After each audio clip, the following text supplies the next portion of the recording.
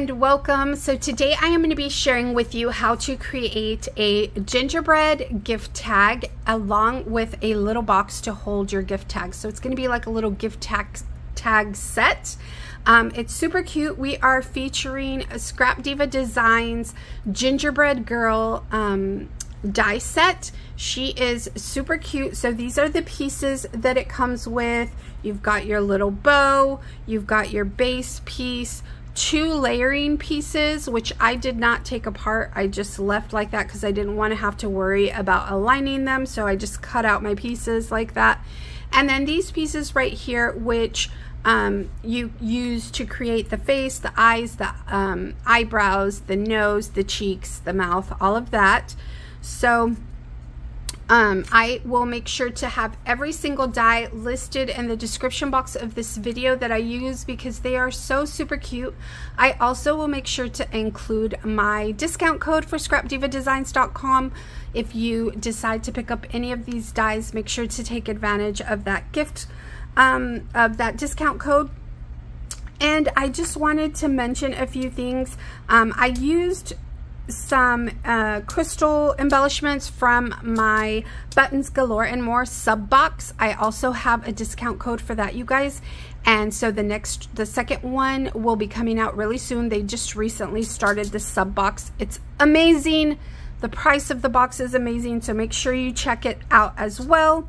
Um, and I did, you know, use a lot of Buttons Galore and More pieces. Um, on my little cookies, on my little gingerbread tag cookies. This is the inside. It says baking sweet memories. I still have glue on my hands. Um, but I think it is so adorable. So you can fit four comfortably in, in this box. And this box measures four by four. Um, so it's really super cute. I didn't mat any of the back. I just matted the front piece. Um, this is the little belly band that I created for it.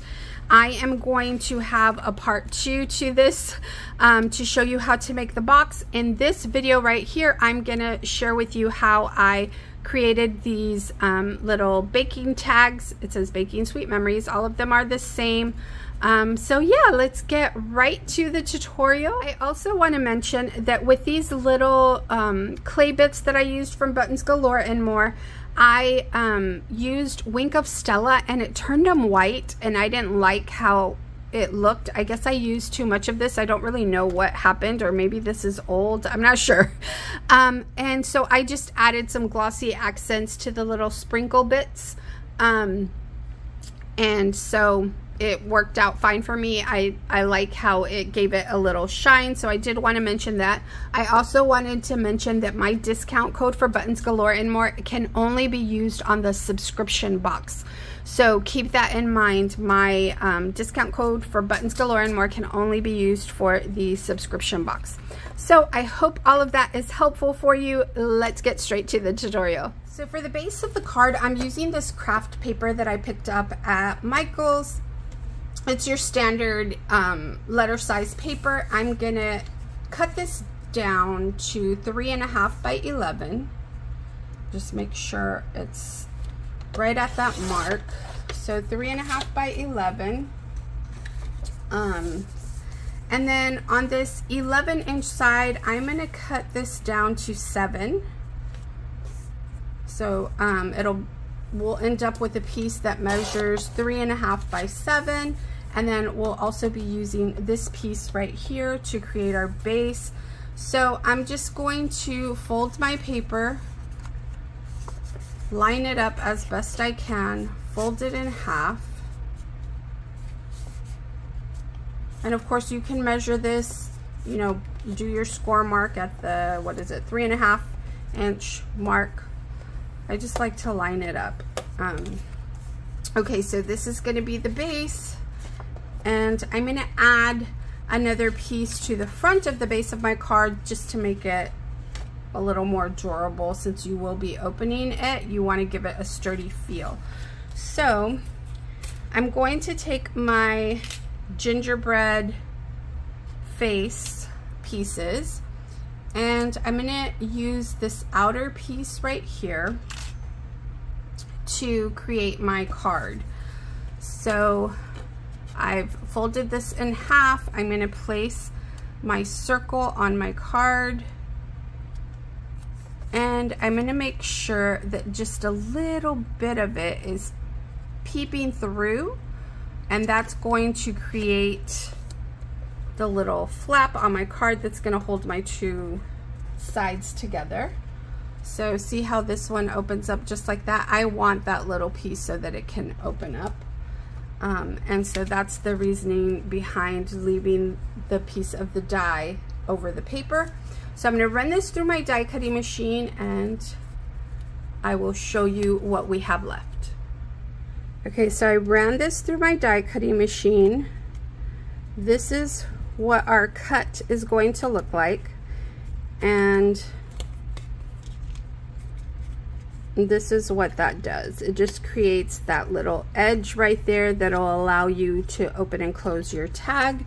then I'll run this through one more time so that we can have the second layer that we need for the little gingerbread face. So I've run all my pieces through the die cutting machine and I have everything I need. So I used this to create my base and to create the the top layer, which will be the face of my little gingerbread girl. I use this to cut out the base of my top layer and the inside of my card. So that will be this right here and the inside also. And what else? And then it comes with this little bow. I've cut that out also. And it comes with these pieces right here, which uh, form the face. So I have my little base card. I'm gonna create my face really quickly. And so for the face, I used, this is what, this piece right here, this is what it's gonna cut out like. You're gonna have this outside piece. I didn't uh, disassemble my dies they come like this together for packaging purposes and I just didn't disassemble them. I left them. These are two separate pieces, but I left them as is just because it's going to make it easier to align later. Um, you know, I don't have to worry about aligning it just right. It's, it's already aligned for me. So I'm going to use the pink center of this die cut as my base piece for the face and I'm going to use the white as the outline. So I cut this out twice. I cut it out of pink cardstock and white cardstock. And you know, we're still going to use all of these pieces because we'll use these on the inside of our card. So I'm just going to adhere that to my card right here and then we will put the face together. So I've added those two pieces to the base of my face.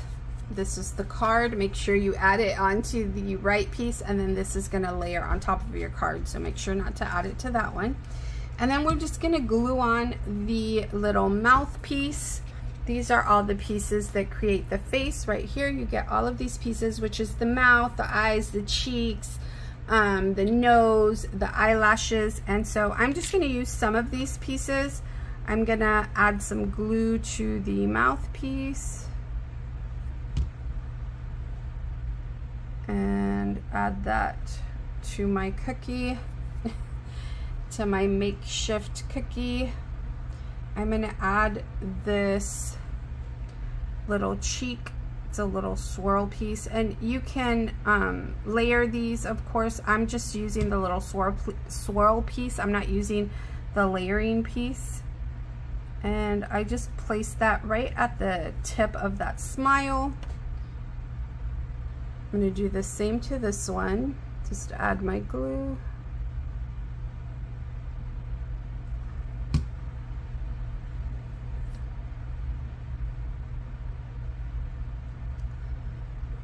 And then these are the little eyelashes.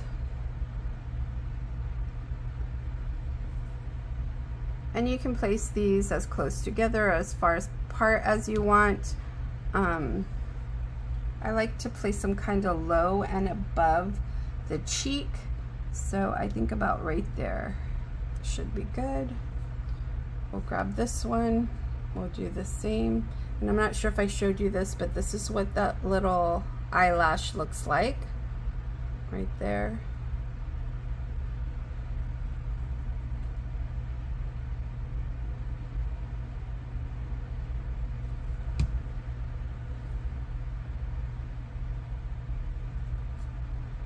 Grab this from the other side because I want to make sure to place it where I can see. That should work for me. And then this little bow right here, I cut it out twice because I want to be able to give it some dimension and just kind of like fold that paper upward just gently, um, not too much and I like this on the side. I don't have to add too much glue because I'm going to be adding an eyelet to this. So, um, you know, I don't have to add too much glue. I do want to see what this is going to look like. I think at this point we can, let me just add the bow. I'm going to add it right here, which is where my little hanging element is going to go. So I'll just add that kind of to the side. And then now I'm going to add that this face that we've created, I'm going to add to the front of my card. Just add a bead of glue.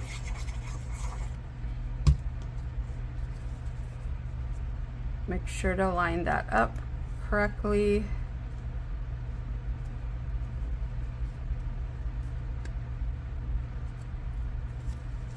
And there you have it. We are on our way to our little tag, to completing our little tag.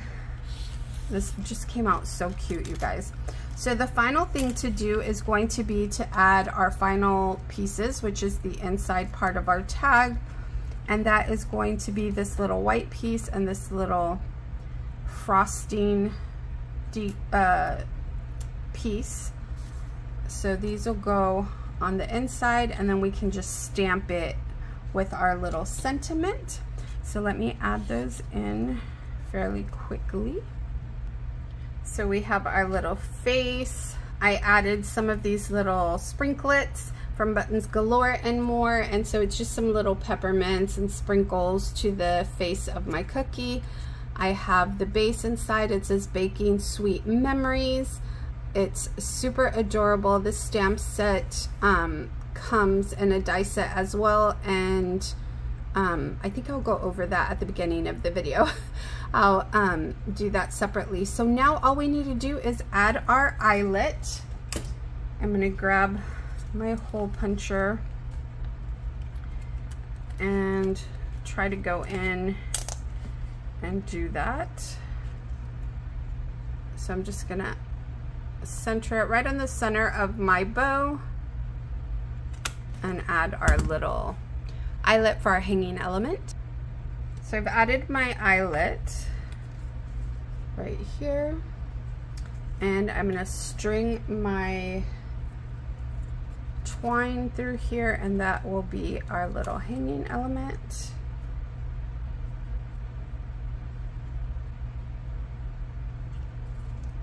Just tug on that a little bit. It just knocked off my little sprinkle. Let me add some more glue so I can fix that.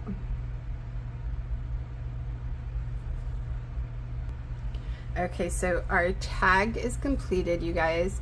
We have the little gingerbread face with some sprinkles, our eyelet, our hanging element, our sentiment on the inside of our tag, and we are ready to create the little box that we will use to gift all of these tags. I think I'm going to do a part two um, so that the video isn't too long and you can you know use this one to see how to create this little tag and then you can use the second one to create um, the little box to house the tags. So thank you so much for watching. Make sure to check out part two. Um, and let me know if you have any questions in the comment area. Tell me what your favorite part of this is. Um, don't forget to use my code if you decide to pick up this die. It is Patty10 and I will have it in the description of this video as well. And I will talk to you in part two.